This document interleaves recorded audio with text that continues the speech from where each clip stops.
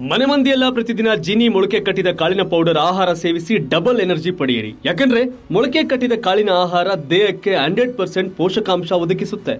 S ನಮ್ಮ ಮುಂದಿನ ಕ್ಷೇತ್ರ ಮಧುಗಿರಿ ವಿಧಾನಸಭಾ ಕ್ಷೇತ್ರ. ಇಲ್ಲಿ ಬಿಜೆಪಿಯಿಂದ ಎಲ್ ಸಿ ನಾಗರಾಜ್ ಕಾಂಗ್ರೆಸ್ ಇಂದ ಕೆ ಎನ್ ರಾಜಣ್ಣ ಜೆಡಿಎಸ್ ಇಂದ sitting M L A Veerabhadraiah ಅವರು ಕಣದಲ್ಲಿದ್ದಾರೆ.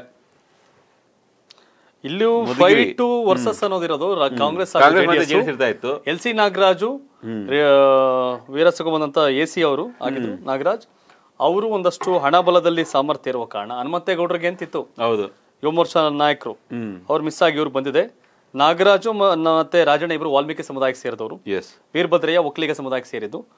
ಕ್ಯಾಸ್ಟ್ ಕನ್ಸಾಲಿಡೇಷನ್ ಲೆಕ್ಕಾಚಾರಕ್ಕೆ ಬಂದ್ರೆ ಸೊ ಅಲ್ಲೇನಾಗತ್ತೆ? ಜೆ ಡಿ ಎಸ್ಗೆ ಲಾಭ ಅಂತ ಲಾಭ ಆಗಬಹುದು ಅಂತ. ಬಟ್ ರಾಜಣ್ಣ ಸಾಮಾನ್ಯದ ವ್ಯಕ್ತಿ ಅಲ್ಲ. ಕಡೆ ಚುನಾವಣೆ ಪ್ರಚಾರ ಮಾಡ್ತಾವ್ರೆ. ನೋಡ್ಬೇಕು ಏನ್ ಬೇಕಾದ್ರೆ ಆಗ್ಬಹುದು ಎಸ್ ಬಟ್ ಇಲ್ಲಿ ತ್ರಿಕೋನ ಸ್ಪರ್ಧೆ ಇದೆ ಅಂತ ಹೇಳ್ಬೋದು ಮಧುಗಿರಿ. ಅಲ್ಲೇ ಗೆಳೆಯಂಗಿಲ್ಲ. ಬಟ್ ತುಮಕೂರು ಜಿಲ್ಲೆ ಹನ್ನೊಂದು ಕ್ಷೇತ್ರಗಳಲ್ಲಿ.